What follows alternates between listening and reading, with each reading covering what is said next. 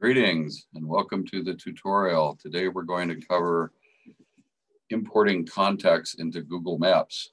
It's a surprisingly simple process, but the reason I'm creating this video is there's so many of them that weren't very clear and they're actually somewhat confusing. So I'll kind of explain what we're going to do here through a few slides, and then we'll uh, just show you how to do it in a live demonstration. The first thing you need to do is export your contacts. You can export them from Microsoft Outlook, a CRM, or just whatever by whatever method, just get your contacts into an Excel or CSV file. Exporting your contacts from Outlook is not terribly difficult, but there's quite a few steps. Basically, I'll cover those here in a moment. Uh, there's several steps you go through to finally create your, your file. It, again, it's going to be a CSV file if it's coming from Outlook, but Excel or CSV both work for the import. You can also export your, your data from CRM programs. I use a, a program called Prophet CRM for Outlook. It's got a very easy user interface to export data from the CRM database right into Excel. So let's go ahead and get started and we'll go right into exporting from uh, Outlook. So first of all, you have to have the Outlook desktop version. And when you're in it, you'll go up to the file section here and you're gonna see one of the options is open and export. So we're going to choose from that menu here, import and export. And then we're going to select from this menu, export to a file, very important. Click the next button and we want comma separated values, also known as CSV format. So we click next after selecting that. And here you'll see all the different folders in your, your profile.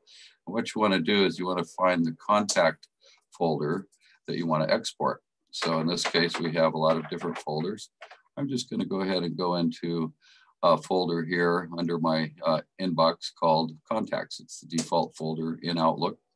And uh, you'll see that you can select any folder that you might have created in Outlook, but I'm going to just select the one called contacts. So I click next and you want to browse to where you simply want to save that file. I have a, a location already in mind.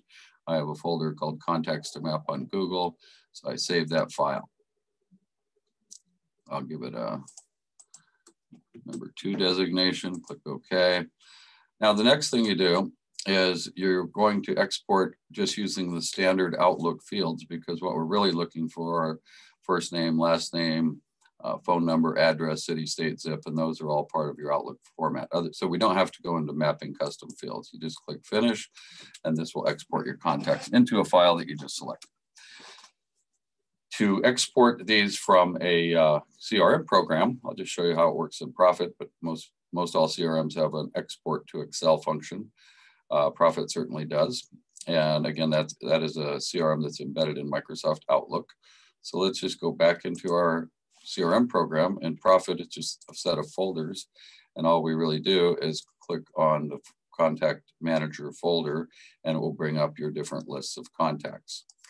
You select the list that you want from this drop down. Make sure it has the full name, address, city, state, zip. Those are the, the types of data we'll need. And then you sim click, simply click the green Excel button, select all rows or selected rows, and that creates your file, which in the case of Prophet is an Excel file. Pretty easy to do. Now, once we have those contacts saved in Excel, we're going to import those contacts into Google Maps. You first have to either have a Google account, which is done by creating a Gmail account, or simply create one. It's free, as you probably know. And you go to this URL. I'll just paste it into my browser, and you can see it takes us right to where we need to be. And that screen will look like this. It's called My Maps. It's a free function of the Google suite of uh, applications, and you just simply click Get Started. Now from here, you want to go up to the left and you want to create a new map. So to create a new map, you click on that button, create a new map, and then you will see a little link that says import. And this is where we want to click it. And we're going to either drag that folder into this window, or you can just click the blue button and select from a file. So I have exported a list of, let's say, manufacturing contacts, and this will upload those contacts into the mapping system and this is where you're going to choose your columns to position the place marks. So I'm going to actually choose all of these here and click continue. And then this is what's going to flash up as a marker once you've mapped them. I'll choose the company name in this case, but you remember on this one, you can only choose one, one selection here because it's going to be the label that pops up as you'll see. Click finish.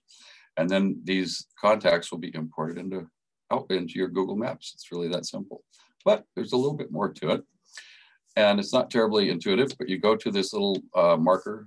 It's like a paint roller and, and a link that says uniform style. And this is where you can do things like give it a, um, oh, let's select the data by company, for example. And then you can select, um, for example, what categories you want, maybe the city state, I'll do company again. And now you can see that all of those, those uh, contacts on my Google Maps have the label that I just selected company. Pretty awesome. You can group them other ways. You can group them by city or state. Um, and that's just completely up to you as to what you're what you're looking to do. And when you group them by state, you'll notice that they come up color coded. So all of the contacts in a certain state have a, the same color. Pretty awesome.